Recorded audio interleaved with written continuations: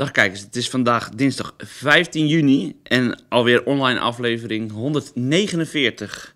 We beginnen vandaag met de nieuwste videoclip van DJ Double Six met videobeelden van onze woonzorgpark.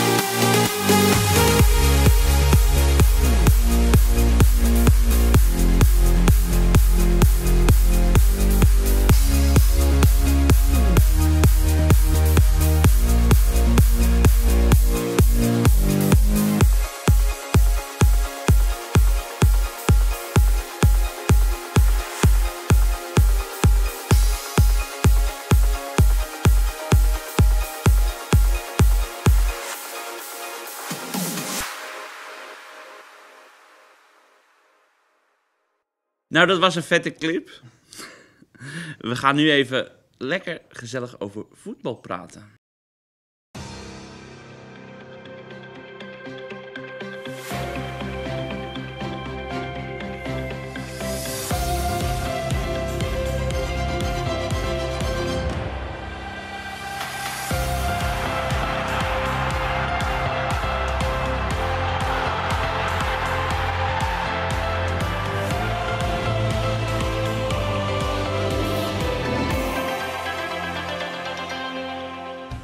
Dag kijkers, welkom weer bij het EK-nieuws. En uh, we gaan het uh, nou eens even hebben over de wedstrijd van afgelopen zondag.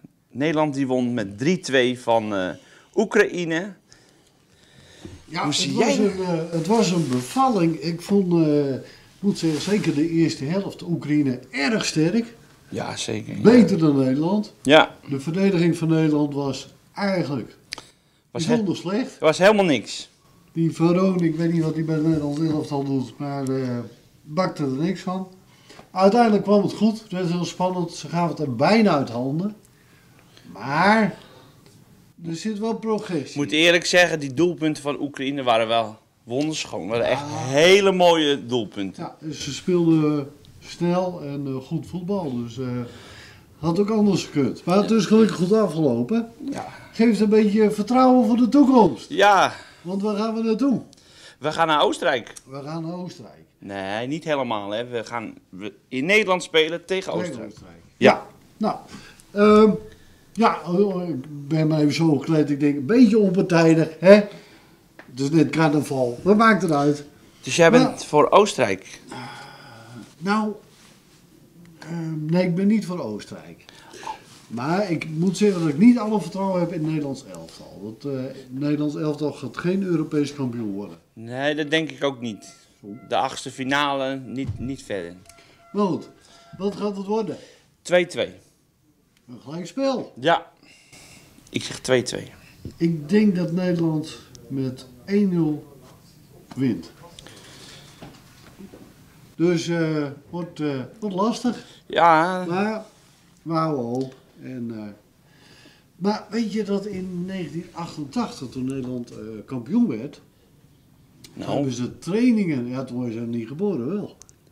Nee, toen was ik nog niet geboren. Nee, Nee, nou. ik was er nog niet. Het was een fantastisch Europees kampioenschap. Nederland startte slecht. eh, maar die hebben van tevoren hebben ze getraind op de Willem van den Berg. Ja, nou, dat, dat heeft het dus gedaan. Hè. Daarom worden ze kampioen. En daar zijn beelden van.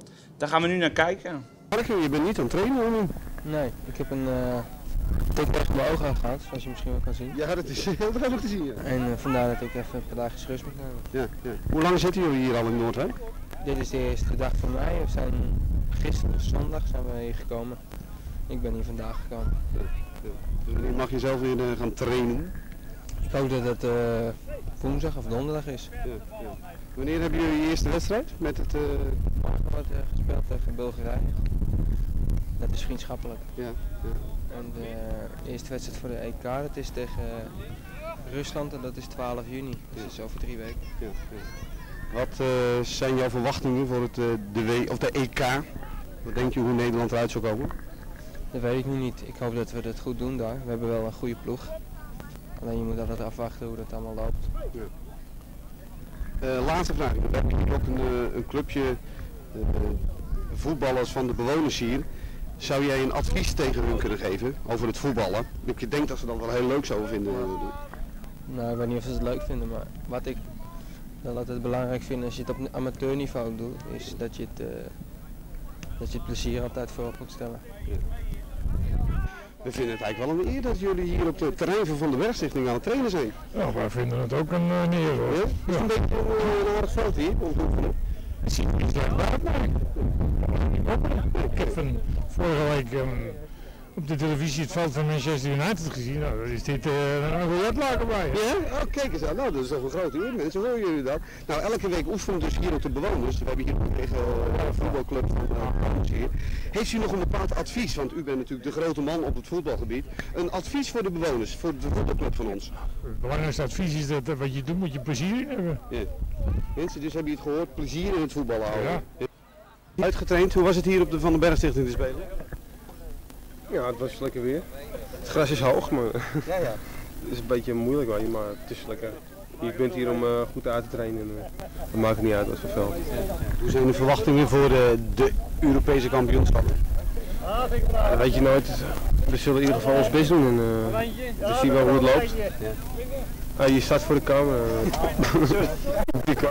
kont. We hebben hier met de bewoners is er ook een, een voetbalploegje. Nou, jij als bekende voetballer, heb jij een bepaald advies voor hun? En je zegt van nou, zo zou je moeten spelen of zo, dat zou je moeten doen.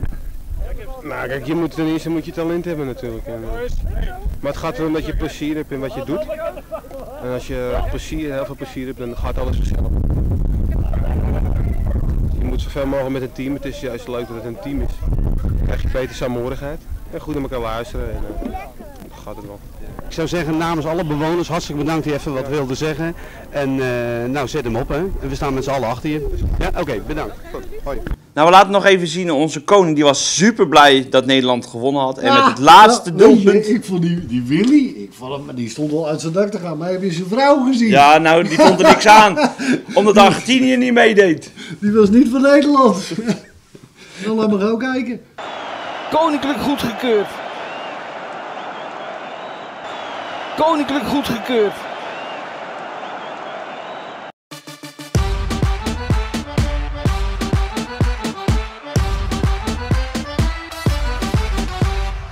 De komende dagen kunnen jullie genieten van deze wedstrijden.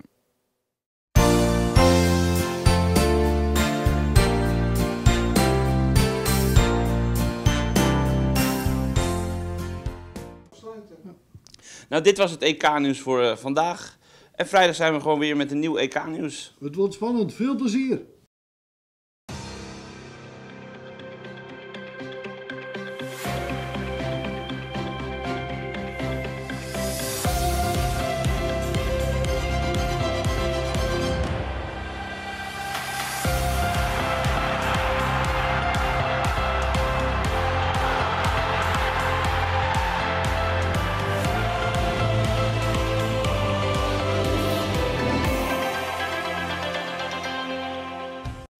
En dan is het nu weer tijd voor raar nieuws. Met uh, vandaag onder andere uh, bedden in een bioscoop. Dat is echt raar nieuws.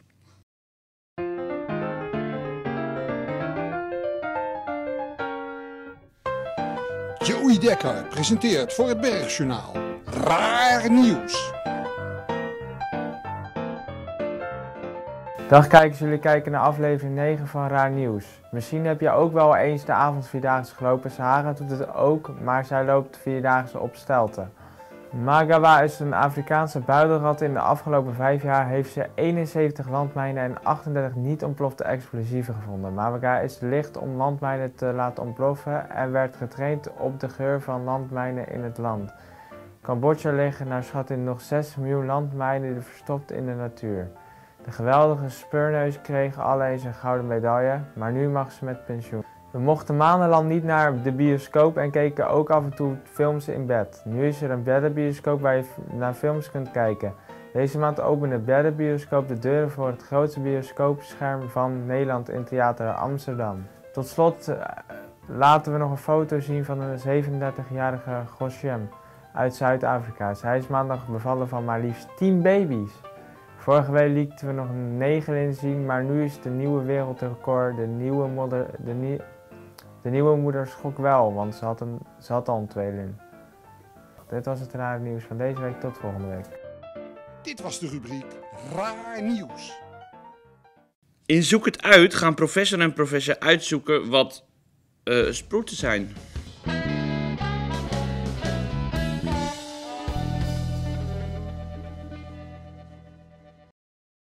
Zo, welkom bij een nieuwe aflevering van... Zoek het uit.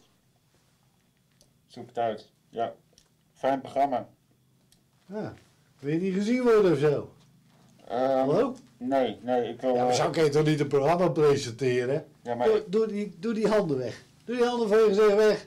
Maar je, je belooft me niet uit te lachen, toch? Ik, oh, heb ik je ooit uitgelachen? Ja, best vaak. nou, ik ga je dit keer niet uitlachen professor. Welkom bij prof... De jij nou? Zo. Ja nou?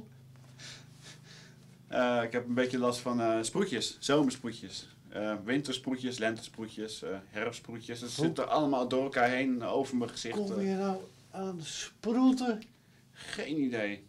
Ik zou het, dat zouden we eigenlijk even uit moeten zoeken. Gaan we uitzoeken. Dat zou ik me een stuk beter voelen. Zoek het uit. De zon is niet alleen een warmtebron. Als je geluk hebt, heeft ze voor jou nog een extraatje in petto. Bij blootstelling aan zonlicht krijgt jouw huid een patroon van superschattige kleine bruine vlekjes. Sproeten. Sproeten hebben te maken met de aanmaak van melanine. Bij de meeste mensen is dat spulletje gelijkmatig verdeeld over de huid. Als de zon gaat schijnen, worden zij gelijkmatig bruin. Maar bij jou raken de pigmenten juist opgehoopt. En zo ontstaan die sproetjes waar je vriendje misschien ook wel ophoopt. Sproeten komen vooral voor bij mensen met blond of dat mooie rode haar. En of het je overkomt of niet, dat is een kwestie van je genen. Dus kijk even naar degenen die jouw familie zijn. En geniet er maar van, want als het winter wordt en de zon verdwijnt, gaan ook je sproetjes op vakantie. Tot volgend jaar. Allemaal leuk en aardig, maar die sproeten van jou komen wel met een bijsluiter. Jouw huid is namelijk extra zongevoelig. Dat betekent voor jou dus niet te lang in de zon, altijd goed smeren. En de zonnebank, die loop je natuurlijk ook straal voorbij. De groetjes van je sproetjes. Oh. Ja, oh, weet je, het is, eh, ik me... Het is een van wat ze noemen van de zeven schoonheden. Ja, dat- Ieder mens heeft zeven schoonheden. Een sproet, nou ja, niet ieder mens, maar veel mensen.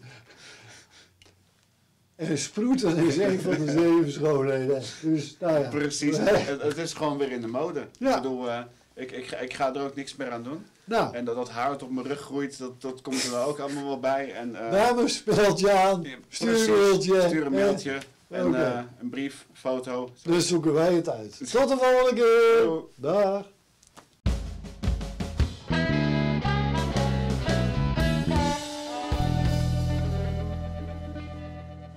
Ja, nou weet ik ook wat sproetjes zijn hoor. Ik heb ze vroeger ook gehad. Dat is echt. eh, mijn hele neus staat vol. Dus, eh. Maar goed. Eh, Boy heeft vandaag een top 3 samengesteld voor van de filmpjes van Eva Apeldoorn bellen. Dus we gaan gauw kijken.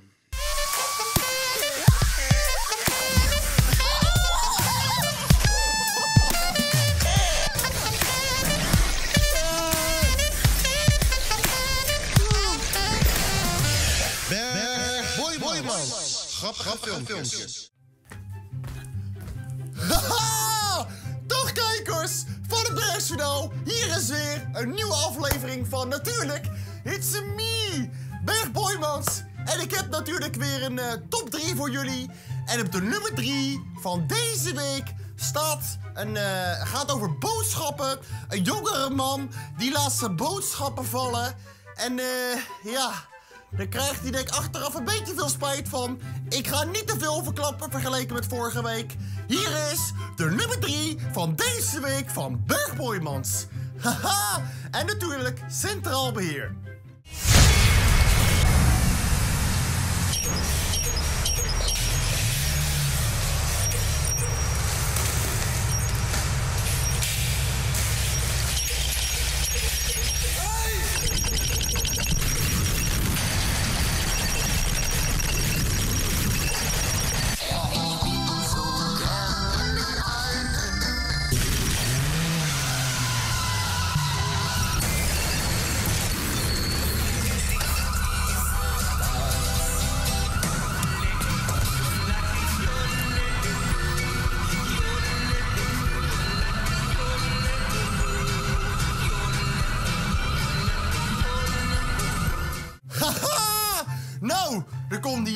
Kon die oudere man een beetje schadevergoeding gaan betalen. En die jongere man ook. Oh nee, ja, nee, die was al eens boodschappen kwijt. Is ook natuurlijk niet handig. Hop, dag, boodschappen weg. Doei, doei. Hop, nieuwe schade betalen voor die auto. Geweldig. En natuurlijk eh, heb ik ook weer een nummer 2 voor jullie. En op de nummer 2 van deze week moet een man, Mr. Vandenberg, hoe dat ook wel in het Engels wordt genoemd, eigenlijk gewoon in Nederlands vertaald, meneer Van den Berg, die moet ehm, getuige zijn tegen de Galuzzi-familie. Ga maar gauw kijken, want hier is de nummer 2 van deze week. Geweldig. You a deal if you testify against the Colucci family. If you testify, we will put you in the witness protection program. No identity, no house, no job. You will disappear from the face of the earth. Could you please point Paul Colucci out to the members of the jury?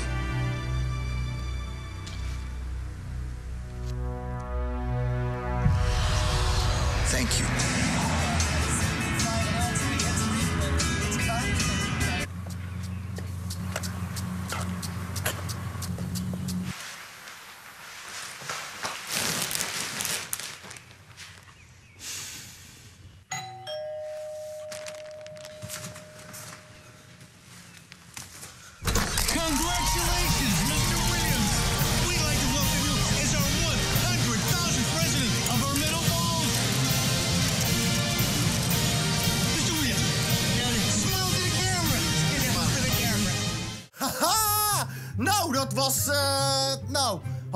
Was hij ineens de honderdduizendste inwoner.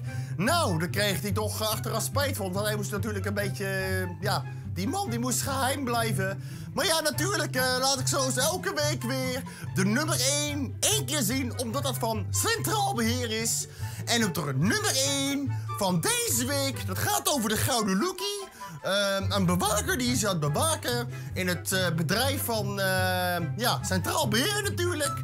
De Gouden Lookie is een prijs voor de beste reclamespot van het jaar sinds 1995. In België heet het ook wel de Gouden Bulp.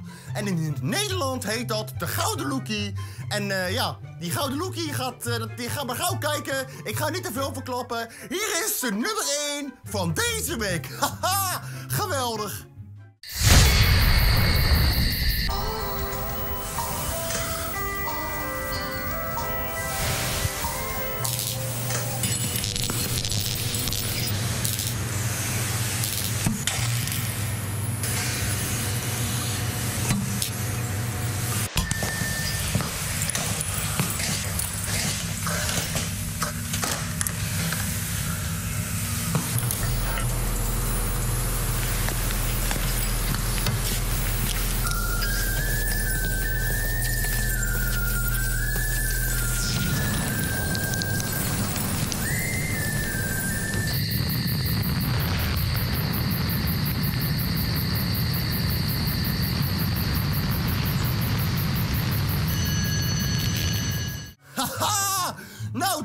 Het uh, toedeledokie, dag gouden lokkie, hop, hop, weg. Verbrand, weg. Oké, en eh, nou, dat was eh, geweldig. Dit was alweer de top 3 van deze week van Berg Boymans. En natuurlijk, eh, ja, tot volgende week. En dan zegt eh, Berg Boymans, nou, tot in de volgende top 3. Adios, amigos. Doei, doei. Haha. En eh, nog veel kijkplezier met het Bergsjournaal. Haha, joe.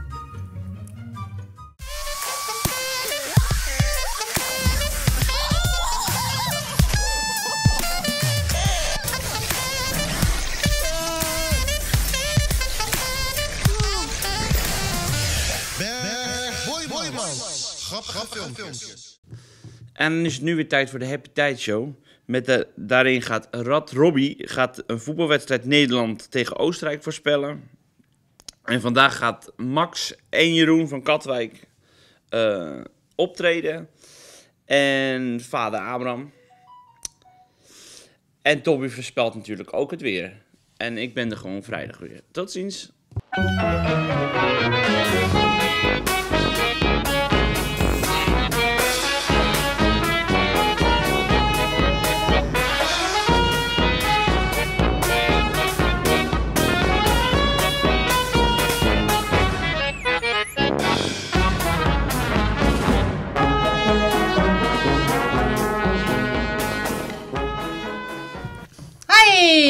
Welkom bij een nieuwe Happy Tide Show. Wat was het spannend, hè?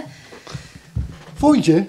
Ja, ik vond het eigenlijk wel spannend, want we hadden natuurlijk de 2-0, zoals Robbie voorspeld had. Mhm. Toen werd het 2-1, 2-2 Mhm.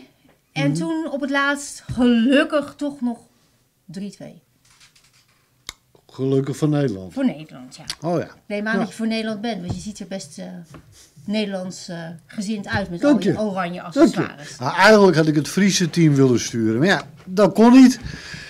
Eh, ze kwamen het land niet in, uit. Maar goed, dat even terzijde. Ja. Ehm, ja, nee, hartstikke mooi. Ehm, ja, we gaan het niet inhoudelijk over de wedstrijd hebben. Nee, laten we dat niet doen. Laten we Die het vooral hebben over Niet om aan te gluren. Wat een verschrikkelijke wedstrijd. Ja, het is toch verdedigend. Was het Oekraïne die speelde constant de bal. En We zouden het er kwam niet er over hebben. We gaan het En die verdediging. Ja, over die de-. Nou, die moet ze toch gelijk. Over de muziek die we hier in de studio hebben. Want hij staat al te trappelen en eh, vol enthousiasme is hij er. En hij is Hey, op zoek even, naar heel even, veel was. Wacht even, wacht even. Ja. Wanneer heb jij laatst dat shirtje gewassen? Vijf jaar geleden of zo? Eh, ja, dat zou zo ongeveer kunnen. Nou, met de vorige ik denk even dat hij wel hoog nodig weer eens een keer in de was mag. Nou, dat Max. komt mooi uit, want Max die staat te wachten met eh, de was. En hij zingt kleine wasjes, grote wasjes. Hier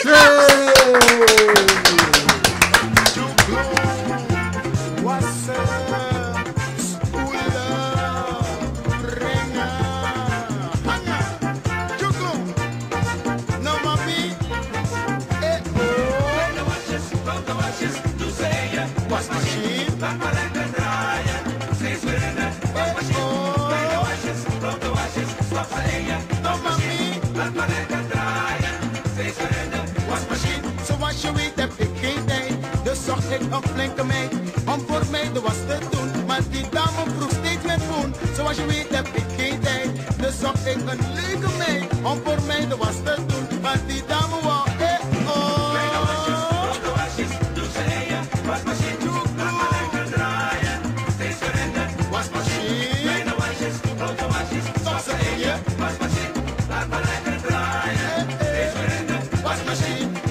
misschien per ongeluk, mijn wasmachine geen stuk. Maar ik had er geen erg in, want die dame kreeg steeds meer zin. Oh, misschien per ongeluk, mijn wasmachine geen stuk. Maar ik had er geen erg in, want die dame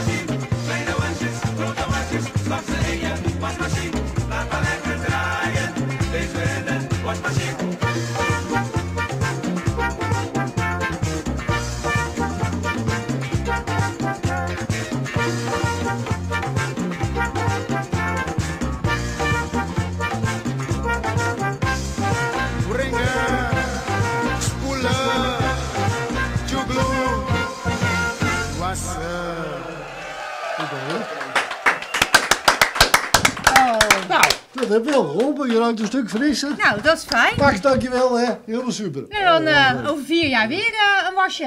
Want dan zullen we vast Nou, weer... Max die mag vast wel wat eerder komen. Ik vind een rasartiest. En Ja, dat is waar. geweldig. Dat dus is Max, volgende keer eh, kom er gauw weer eens een keer langs. Nou, dat was gezelligheid. Kent geen tijd. Nee, hè? en weet Nee. je wie ook voor gezelligheid staat? Ja, dankjewel. Maar ja, dat vind ik leuk dat je dat zegt. Ja. Eindelijk. Ik bedoelde eigenlijk iemand anders, dat is onze eigen Jeroen van Katwijk.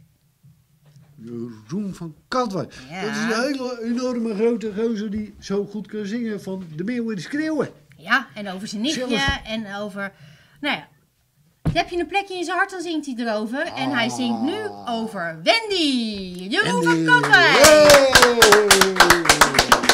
De single van mijn eerste album ik tijd ben verliefd. En geschreven mezelf. Nummer zelf van een meisje in die tijd. Oh Wendy! Kom on! Laat me mee! Elke dag zie ik jou mooie lach en ik zie jou. Jij loopt naar mij toe, je geeft me een zoen. Ik denk alleen aan jou. Iedere keer denk ik aan die tijd steeds weer. Dat jij bij mij bent en ik je nu ken. Wat ben jij toch een mooie vrouw, oh Wendy. Jij bent die ene vrouw waar ik zoveel van hou. Want ik denk dat de dag alleen aan jou, oh Wendy. Blijf je vanavond bij mij, de liefste dan ben jij voor mij. Want ik droom elke nacht alleen over jou, over jou.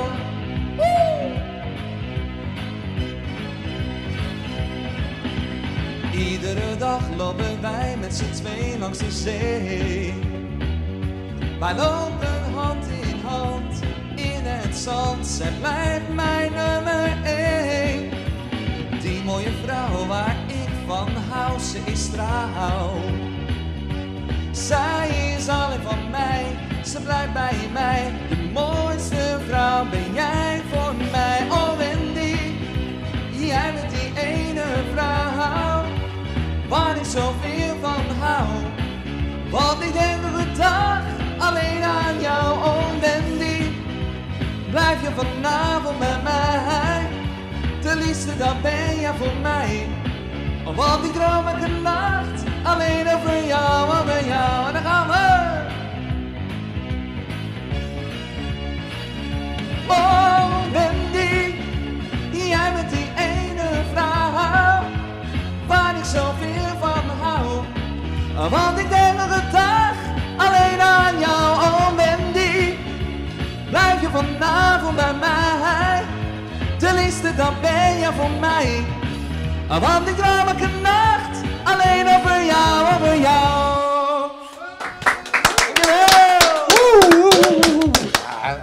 Live. Ja, prachtig, prachtig. Dat doe jij hem niet na. Ik er niet, nee. nee. Ik hoop jij ook niet, dat is beter voor de kijkcijfers. Zo, gaan we op die tour. Ja, ik denk, Ja. eh, wie kaats wil, kan de bal verwachten.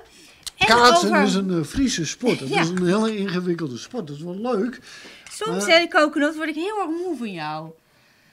Oh. Maar je hebt dan wel weer één voordeel. Je hebt Robbie bij ons geïntroduceerd. Jazeker. En, nou, eh, geïnteresseerd, dat liep in mijn keuken. Ja. En we hebben binnenkort natuurlijk weer een goede, leuke wedstrijd voor de boeg. Wat ze erop? Wie ging er winnen?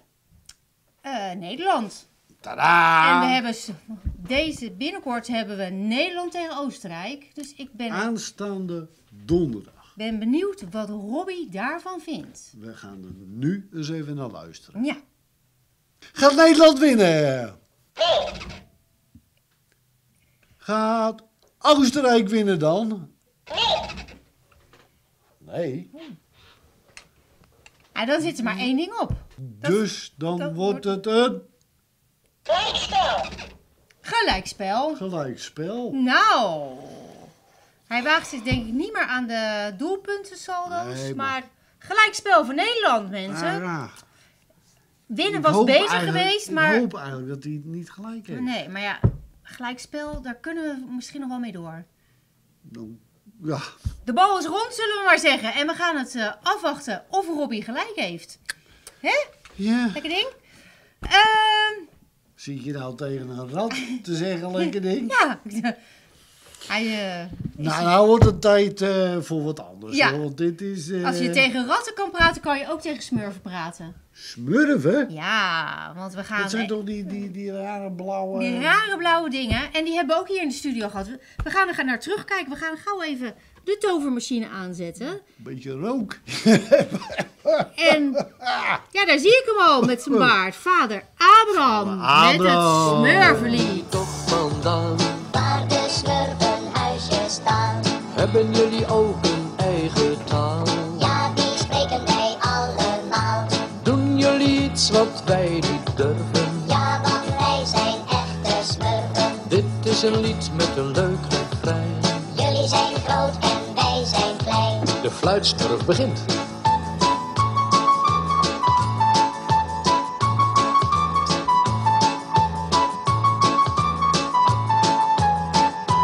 Ja, zing maar na.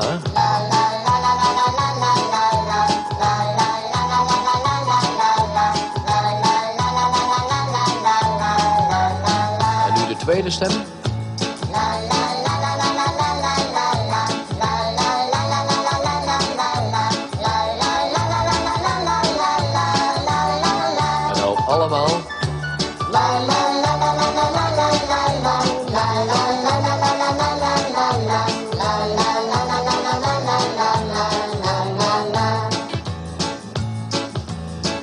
Jullie door een waterkraan Wij kunnen door een waterkraan.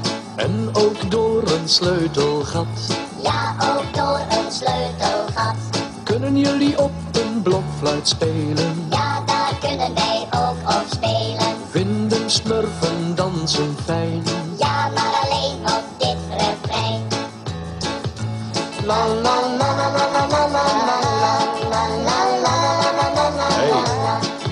Wie is daar verkeerd aan het smurfen? Hey,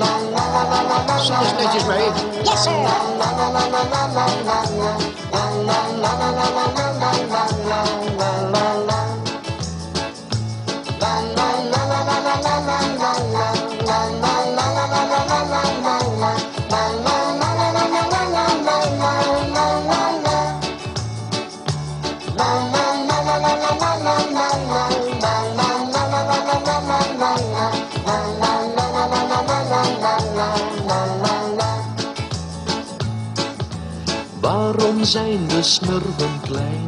Omdat jullie groter zijn. Gaan jullie met die muts naar bed? Ja, die wordt niet afgezet. Gaan jullie net als wij ook slapen? Nee, wij moeten driemaal gapen. Wat is jullie grootste wens? Smurfen, maar dat snapt geen mens.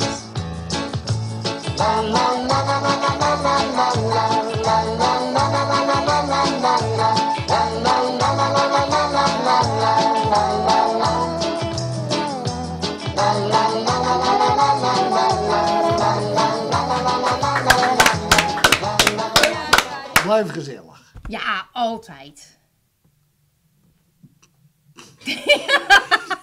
we gaan we zouden bij. Je zou bijna denken dat we het menen.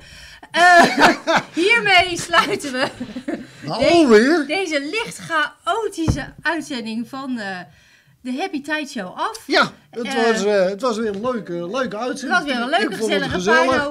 Het was ook leuk dat je lekkere dingen had meegenomen. Ja. En nou, ik zou zeggen, een volgende keer komen we er weer. Oké, tot de volgende keer. Hoi.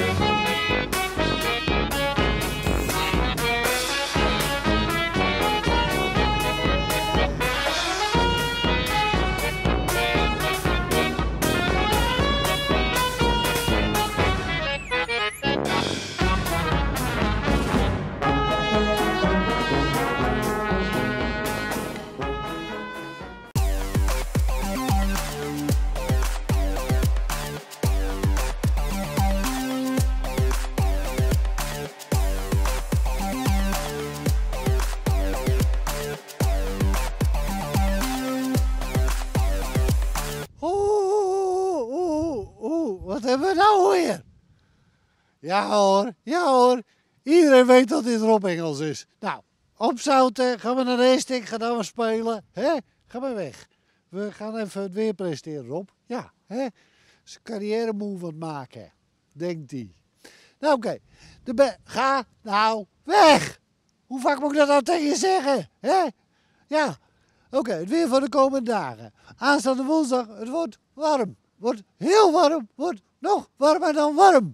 Rob, het wordt warm. Dus ik zou zeggen, ziet er lekker fris uit. Hè? Zonnetje, ja, doe je goed. Oké, ga nou weg. Oh, soms, meestal, je kan echt heel irritant zijn, Rob. Echt heel, heel irritant. Oké, aanstaande woensdag. Woensdag wordt het prachtig mooi weer. Maar, luister, let op. Stel, je hebt het heel warm. Want het wordt wel 26, 27, 28 graden. Als je dan in de middag naar het strand gaat. Rob, ga maar vast naar het strand. Ga maar, ga maar Ga maar kijken. Hè? Ja. Er komt er wind van zee. In de middag zul je zien dat de temperatuur aan het strand daalt tot 20 graden. Dus dan is het overal heerlijk weer. En op het strand denk je van, "Bleh, koud, koud, koud hè? Ja, gewoon vast het strand erop. Ja. Aanstaande donderdag wordt het wel weer wat warmer. Wordt het weer warmer, nog warmer dan de woensdag. Maar in de loop van de middag komt er bewolking. En is er kans, met het begin vanavond, op een bui. Nou, jij bent erop gekleed, hè? Maar je staat al heel erg in de weg. Dus als je nou niet maakt de weg komt, dan zorg ik dat je wegkomt, hè? Ja, daar ben ik heel klaar mee. Nou, mensen, rustig aan. Wees voorzichtig. Pas goed op jezelf. Smeer je goed in, want de zon is fel. Tot de volgende keer weer. En eh, we gaan nou even afscheid nemen van Rob. Toedeledokie. Rob, lopen nou. Lopen, lopen, lopen, lopen.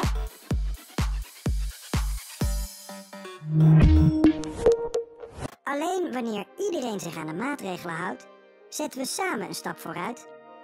Blijf thuis als je klachten hebt. Ben je ook benauwd en of heb je koorts? Dan blijven alle huisgenoten thuis. Werk zoveel mogelijk thuis. Houd anderhalve meter afstand. Vermijd drukte en was vaak je handen. Alleen samen krijgen we corona onder controle. Meer informatie? Kijk op rijksoverheid.nl slash coronavirus of bel 0800 1351.